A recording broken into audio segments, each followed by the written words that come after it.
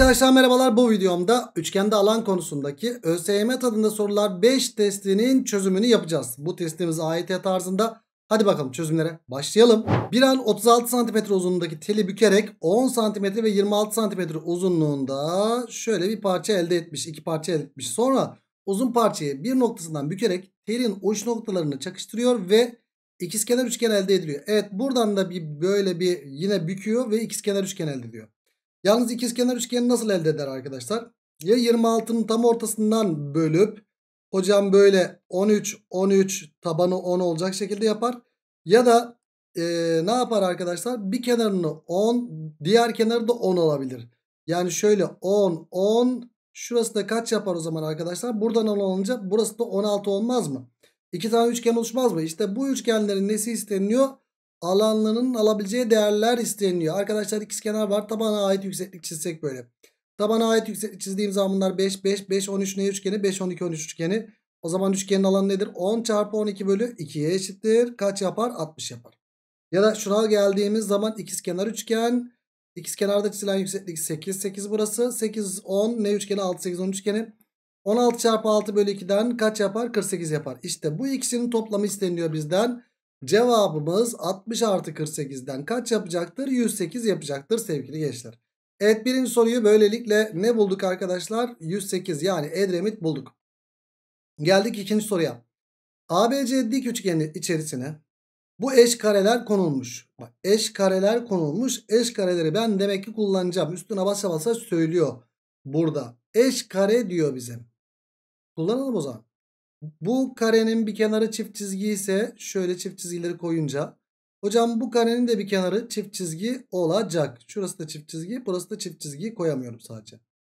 E ben bu karelerin eş olmasını nasıl kullanacağım? Bak soruyu daha okumuyorum bile. Ben bu bilgiyi kullanmadan sonuca ulaşamam. Ama okumakta zorundayım galiba değil mi? S1 ile S2'yi bulundukları bölgelerin alanları demiş. Şurayı 15 vermiş. Sonra buraya 20 vermiş. Ne üçgen arkadaşlar? 15, 20, 25 üçgeni. Şu eşitleri kullanmam lazım benim. Hocam bak şimdi burası 90. Burası 90. Şuradaki noktadan buraya ve buraya çizilen dikmeler eşit. Aa bak bak bak bak bak. Öyle düşününce ne güzel bir şey çıktı. Buradan da buraya çizilen dikme eşit değil mi arkadaşlar? Evet. Şu dikmeler birbirine eşit. Dolayısıyla burası ne oldu arkadaşlar? Dikmeler nerede eşitti? Açı ortayda. Açı ortayların kesim noktası oldu gençler orası. Yani sen şunu şöyle çizsen. Hocam bu açı ortay. Bu da açı ortay. Bu da açı ortay olur mu gençler? Olur tabii ki. Hatta bu kareden dolayı 45-45 diye böler. Bu da açı ortay. Bu da açı ortaydır gençler. Kollara çizilen dikmeler eşit. Ayırdıkları yerler de eşit olacak tabii ki. Aa, tamam oradan da çıkar soru. Ayırdıkları yerler eşit ya. Karenin bir kenarına A dersem. Hocam Buraya 15 eksi a kaldı. E buraya 20 eksi a kaldı. Ayırdıkları yerler de birbirine eşit açı ortayda kollar itilen dikmelerde. Yani buraya 15 eksi a burası 20 eksi a ise burası da 20 eksi a yaptı. Şu ikisinin toplamı 35 eksi 2a eşittir 25'ten. Buradan 2a 10'dan a'yı kaç bulursun böylelikle 5 bulursun. a 5 çıktı. O zaman burası kaç oldu? 15 oldu. Burası da kaç oldu? 15 oldu. Tabi bu buraya kadar olan kısım arkadaşlar. Şuradaki ayrıldıkları yerlerde birbirine eşit ya. Evet. Şimdi ben S1 ile S2 demek ki alana giriş yapacağım burada. Bak soru kökünde alandan bahsediyor. S2 eksi S1'den bahsetmiş. Ben burada tüm alandan iki tane kareyi çıkartırsam neyi bulurum? S1 artı S2'yi bulurum. S1 artı S2 artı iki tane karenin alanı diyeyim hatta. iki tane karenin alanı. 5'in karesinden 2 tane var. Bu neye eşit olacaktır? 15 çarpı 20 bölü 2'ye eşit olacaktır. Peki buradan S1 artı S2 neye eşit oluyor arkadaşlar? Burası 150. 150'den e, 50 çıkınca kaç yaptı? 100 yaptı. Evet S1 artı S2 100. Hocam S2 eksi S1'i de 20 vermiş bize. Taraf tarafa toplarsam S1'ler gidiyor. 2 tane S2 eşittir 120 ise buradan da S2 neye eşit oldu? 60'a eşit oldu. S2 60'a eşit. Ben bu S2'yi kullanacağım. Ha, hocam şuradaki şey belli mi? Belli. Şimdi. Şimdi şimdi şimdi. Şimdi S2 dediği şu beyaz bölgenin alanı değil mi arkadaşlar? Evet. Bu iki tane üçgenin alanından şuradaki mavi alanı çıkartırsam tekrar söylüyorum. iki tane dik üçgenin alanından bakın. Şu dik üçgenleri şöyle gösteriyorum. İki dik üçgenin alanından şu dik üçgenin ve şu dik üçgenin alanından arkadaşlar. Ben mavi bölgenin alanı çıkartırsam S2'yi mi bulurum? Evet. S2 o zaman 60 diyelim. 60 alanı neye eşittir arkadaşlar? Tekrarlıyorum. Bu üçgenin alanı ve bu üçgenin alanından yani iki tane aynı üçgen aslında bu. Hocam burası kaçtı? 5'ti.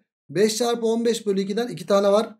5 çarpı 15 bölü 2'den 2 tane var. Eksi neyi çıkartacağım? Şuradaki dikdörtgenin alanı çıkartacağım. Ki zaten buraya 5 bulmuştum. X çarpı 5'i çıkartacağım. X çarpı 5'i çıkartınca bu neye eşit arkadaşlar? 60'a eşit. S2'ye eşit. E buradan git, geldi mi geldi arkadaşlar. Şu bölü 2'ler sadeleşsin. 75 yaptı bu. Bunu öbür tarafa attık. 5x eşittir 75 eksi 60'tan 15 geldi. Ve x'i de buradan kaç bulduk? 3 bulduk. Valla arkadaşlar baya bir zor soruymuş. Özellikle sorunun en başı zormuş. Şu eşitleri yakalamak baya bir şey. Yakaladıktan sonrası gerçi gelir. Yakaladıktan sonrası gelir. Yani sorunun ince detayı tam burada sorunun kökünde. Valla güzel bir şey daha öğrenmiş olduk. Ben de ilk defa böyle bir soru şey çözüyorum. Demek ki böyle bir kare ve bir tane de böyle bir şey çizildiğinde şu üç tane tam burası eş kareler olursa oradaki iki karenin kestiği yer ne yapıyor? Güzel bir soru bu arada. Çok hoş bir soru. Zor bir soru bu arada. Tam burası iç açı ortayların kesim noktası yapıyor. Biz gerçi iç açı ortayların kesim noktasını değil de kollara çizilen dikmelerden dolayı giderek sonuca ulaştık. Gerçekten mükemmel bir soru. Evet Mehmet hocam, Resul hocam, Resul hocam adını unutmadım bu sefer. Bir önceki videoda ya da önceki videoda unutmuştum kusura bakma. Evet gerçekten teşekkürler. Güzel soru, hoş soru. Ve geldik 3. soruya. Evet cevabı ne bulduk bu arada? 3 bulduk arkadaşlar. Balıkesir bulduk ikinci soruyu. Geldik 3. soruya. Kenar uzunlukları ABC olan bir üçgenin alanı U çevre bölü 2 olarak yazıldığında kare içinde U çarpı U eksi A çarpı U eksi B çarpı U eksi C formülüyle bulunuyormuş arkadaşlar. Bir ABC üçgeninin kenar uzunluklarının çarpımı. Arkadaşlar bir ABC üçgenine biz ne diyelim? ABC üçgeninin kenarlarına ABC diyecek olursak ABC diyecek olursak şöyle görüyorsunuz değil mi arkadaşlar? Şuraya atayım. Sonra bu kenarları ben şöyle ne yapacakmışım arkadaşlar? Şunu bu üçgenin kenar uzunluklarını ikişer ikişer toplanarak oluşturulan DEF üçgeni. Evet DEF üçgeninde ne oluyormuş? İkişer ikişer toplamları. Mesela burası A artı B. Burası B artı C. Burası da A artı C. Ya da C artı C artı A diyebiliriz arkadaşlar. Evet yeni üçgen bu. ABC üçgenin kenar uzunluklarının çarpımı x olarak verilmiş. Bu kenar uzunlukları çarpımı A çarpı B çarpı C neymiş arkadaşlar? X'miş. Ve çevresi de y olsun. A artı B artı C de bize ne olarak verilmiş? Sorunun başında y olarak verilmiş. Bu üçgenin kenar uzunlukları ikişer ikişer toplanarak DF üçgenin alanının x ve y cinsinden değeri nedir diye soruluyor. Öncelikle çevreyi mi bulacağız arkadaşlar? Evet bunun çevresi nedir? Çevresi hocam A'dan 2 tane var. 2 tane A, 2 tane B ve 2 tane C değil miydi? Evet. Çevresini bulduk. Daha sonra bu çevresinin yarısı değil mi arkadaşlar? Evet şuna bakacak olursanız çevre U dediği A artı B artı C bölü 2 eşit. Yani çevrenin yarısına eşit. O zaman bizim U dediğimiz ne olacak arkadaşlar? Bunun yarısı A artı B artı C mi olacak? Evet. U dediğimiz A artı B artı C olacak. O zaman alan neye eşit olacak? Karek içinde U çarpı yani şuraya yazayım. U çarpı U eksi A ya da U çarpı aklınızda bulunsun. U çarpı U dediğimiz A artı B artı C yazıyorum çarpı U'dan neyi çıkartacağım? Bir kenar çıkartacağım. Arkadaşlar A artı B artı C'den bir kenar çıkartacağım. A artı B'yi çıkartınca mesela ne kaldı? C kaldı. Sonra U'dan neyi çıkartacağım? B'yi çıkartacağım. Yani diğer kenarı çıkartacağım. B artı C'yi çıkartacağım. B artı C'yi çıkartınca ne kaldı? A kaldı. Sonra U'dan A artı B artı C'den neyi çıkartacağım? Diğer kenarı çıkartacağım. C artı C'yi C artı A'yı çıkartınca ne kaldı arkadaşlar? B kaldı. İşte bizden bunun alanı isteniyor. Bak şurayı iyi uygulamak lazım. iyi kullanmak lazım. Tekrarlıyoruz soru kökünde. Çevre çevrenin yarısı U'ymuş. Arkadaşlar yeni oluşan üçgende çevremiz 2 artı 2 B artı 2C ya. U dediğimiz A artı B artı C yaptı. Sonra U çarpı üçgenin alanında U çarpı U'dan bütün diğer kenarları tek tek çıkartıyoruz. Bu formülle bulunuyormuş. Şimdi U dediğimiz A artı B artı C ya. A artı B artı C'den A artı B'yi çıkarttın C geldi. B artı C'yi çıkarttın A geldi. C artı A'yı çıkarttın B geldi. E o zaman burası da ne yaptı arkadaşlar? Şöyle bir şey yaptı. E, bizden ne isteniyor zaten? A çarpı C, B çarpı C'yi x vermişlerdi. Hocam burası x. A artı B artı C'yi de zaten y vermişlerdi. O zaman alan neye eşit oldu? Karekök içinde y çarpı x'e eşit oldu arkadaşlar. Yani üçüncü soru böylelikle denizli oldu. Geldik dörde. Ön yüzü dik yamuk biçimde olan dosya kutusu ile dikdörtgen biçimdeki kağıdın iki farklı konumu şekil 1 ve şekil 2'de gösterilmiştir. Hocam burası 16. Hmm, iki farklı konumu. Ya bir böyle dik konulmuş bir de şöyle konuluyor arkadaşlar. Şimdi e, bunun şu şekilde dikdörtgene tamamlanmış bu değil mi? E o zaman burada da bir dikdörtgene tamamlayalım arkadaşlar. Şurada da bir dikdörtgene tamamlarsam önceden kağıt bu şekilde değil miydi? Evet. Kağıt bu şekilde olduğunda dışarıda kalan kısmı burası 16 değil miydi? Aynen öyle. Hocam bunun tamamını 16 diye yazalım şöyle. Sonra şuraya kadar kısmı 9 verilmiş. E şuradaki dikdörtgenin kısa kenarına A diyecek olursam. Hocam burası A hatta X diyeyim ya. A nedir? X diyecek olursam. Burası X mi? Evet. Şuradaki parçası X yaptı arkadaşlar. Hocam bu şekilde konulduğunda burası da X yapıyor. Yani şurası da X. E burası 9 iken burası 9 değil mi? Evet. E, zaten bir şeyler çıktı burada. Hocam şunlar birbirine paralel. Bir temel orantı çıktı. Şunun tamamının oranı. Yani x bölü tamamı 16 idi arkadaşlar bunun. 16 eşittir. 9 bölü x değil mi? Evet. Buradan x kare ne geldi? 16 çarpı 9 geldi. Hatta 144 geldi. Ya da iki tarafı karekökünü alırsan x de buradan ne gelir? Karekök içinde 16 çarpı 9 yani 4 diye çıktı 3 diye çıktı 4 kere 3 12 çıktı. Evet x'i kaç bulduk arkadaşlar? 12 bulduk. Bizden gözüken yüzeyi. Evet şekil 1'de kağıdın gözüken yüzeyin alanı nedir diye soruluyor. 12 çarpı 16 bölü 2'dir arkadaşlar. O da kaç yapar? Şu ikisi sadeleşince 8. 8 çarpı 12'den 96'ya eşit olur arkadaşlar. Yani dördüncü soru böylelikle Edremit oldu. Geldik 5'e. Tabanı 10 birim olan ikizkenar üçgenin içine tabanı 10 birim olan ikizkenar üçgenin içine hemen şu tabanı 10 birim olan bir ikizkenar üçgen çizelim arkadaşlar. Şurası 10 birim olan ikizkenar üçgen de şöyle olsun. Birer köşesi üçgenin eşit kenarları üzerine bir kenarı da üçgenin tabanı üzerine gelen 16 birim kare alanlı bir kare çiziliyormuş. Evet birer köşesi üçgenin eşit kenarları üzerinde olacak ve bir kenarı da tabanında olacak arkadaşlar. İkizkenar üçgen tabanında olan bir kareden bahsediyor bize. O zaman bizim karemiz şu şekilde olmak zorunda değil mi? Karenin alanı da 16 ise bir kenarı 4 olmak zorunda değil mi arkadaşlar? Evet.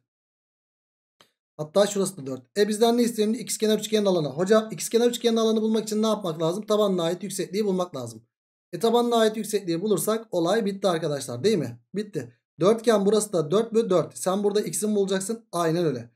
E hocam şu kırmızılar birbirine paralel değil mi? Paralel. E paralelse. E hocam burada x'e 4 oran var. Bak burada x'e 4. O zaman burası xk ise burası 4k mıdır? Evet.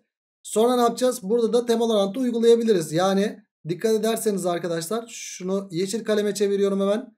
Dikkat ederseniz şu 4'ün 10'a oranı bunun buna oranı eşit değil mi? Evet xk bölü xk artı 4k eşittir. E, 4 bölü 10 yapmak zorunda değil mi? Evet şunlar sadeleşince 2 bölü 5 kaldı. Burası da ne yaptı arkadaşlar? E, xk bölü x artı 4 k parantezini alınca arkadaşlar. K parantezini alınca 2 bölü 5 eşit oldu. K'lar gitti. İşler dışlar yapınca 5x eşittir 2x artı 8'den 3x eşittir 8'den x'i de buradan kaç bulduk? 8 bölü 3 bulduk. Buna göre de ikizkenar üçgenin alanı nedir diye soruluyor. x 8 bölü 3 ya. 8 bölü 3 ile 4'ü toplarsan 20 bölü 3 mü yapıyor? Evet 20 bölü 3 yaptı arkadaşlar. Şunu siyaha çeviriyorum yine. Şurası 20 bölü 3 yaptı. Yükseklik 20 bölü 3 tabanda 10. O zaman 10 çarpı 20 bölü 3 bölü 2'ye mi eşit olacak? Evet. Şunlar gidince 10 kaldı. 10 çarpı 10 100 yaptı. Cevabımız böylelikle 100 bölü 3'e eşit oldu arkadaşlar. Beşinci soru Balıkesir oldu. Geldik 6'ya. Evet demiş ki 12 cm uzunluğundaki CH CH 12 cm DF noktalarıyla 4 eşit uzunluğa ayrılıyor.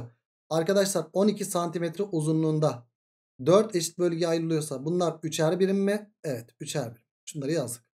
Sonra ne diyor? A ve B noktalarının CH doğrusuna olan uzaklıkları toplamı 10 birimdir. Hocam şunun uzaklığı 10 birimmiş.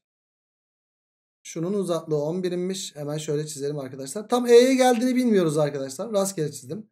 Bu da D'ye geldiğini bilmiyorum. Rastgele çizdim arkadaşlar sadece. Evet bunların uzaklıkları toplamı yani şuraya bir x buraya bir y diyecek olursam x artı y'yi kaç vermiş bize 10 vermiş. A noktasında bulunan hareketli doğrusal hareket ederek FBC noktalarına uğrayıp arkadaşlar F'ye uğruyor, B'ye uğruyor, C'ye uğruyor. Sonra tekrar A'ya geri dönüyormuş. Hareketlerin rotasyonun oluşturduğu bölgenin alanı nedir diye soruluyor arkadaşlar bize. İşte bu bölgenin alanı soruluyor arkadaşlar bize. Bu ve şuradaki bölgenin alanı soruluyor. Gençler öncelikle şu bölgenin alanını bulalım. Bu bölgenin alanı nedir? Tabanımız kaç? 3, 6, 9. Hocam tabanımız 9. 9 çarpı x bölü 2 değil mi? 9 çarpı x bölü 2 artı. Şuradaki üçgenin alanı soruluyor bir de. O da 9 çarpı y bölü 2 eşittir. Hocam 9 bölü 2 parantezini aldığımızda x artı y yapar. x artı y de 10 değil miydi? Evet 9 bölü 2 çarpı 10'a eşittir. Bu da kaça eşit olur? 45'e eşit olur. Arkadaşlar 6. sorunun cevabı böylelikle Denizli geldi. Geldik 7. soruya. 5, 6 ve BC'yi de kaç vermişler arkadaşlar bize? 7 vermişler. E iç açı ortayların kesim noktası. Hmm, iç açı ortayların kesim noktası. G de kenar ortayların kesim noktası. Tamam. Alan ABC ile alan DBC birbirine eşit. Şu üçgenli şu üçgen eşit. Arkadaşlar işte çember alan ilişkisi neydi? Hop şunu da çizersem tabanlarla alanlar doğru orantılı değil miydi? Evet. 5'teki alan 5A ise alttaki alan 6A'dır. 7'deki alan da 7A'dır. Hocam burası 12A iken burası da 12A verilmiş. Ağırlık merkezi alan ilişkisi neydi? Hop şunu çizersem 3 eşit parçaya bölünmüyor muydu? Yani buradaki alan 12, 7, 5, 12, 18A mı? Çünkü şu alanla şu alan birbirine eşit. 18A'yı 3'e böldüğün zaman kaç yapıyor? Hocam bunlar da 6A, 6A ve 6A yapar. Çünkü 3 eşit parçaya bölünüyor. Bizden ne isteniyor? Bu. Alan ABE 5A bölü alan alan GBD. GBD 6A isteniyor arkadaşlar bizden. E o zaman cevabımız ne yapar arkadaşlar? 5 bölü 6 yapar. Böylelikle cevabımız 7. soruda Edremit oldu ve ve ve ve ÖSYM tadında soruları da bitirmiş bulunuyoruz. O zaman ne diyoruz? Bir sonraki videoda orijinal sorular bir testinde görüşmek dileğiyle. Kendinize iyi bakın. Hoşçakalın.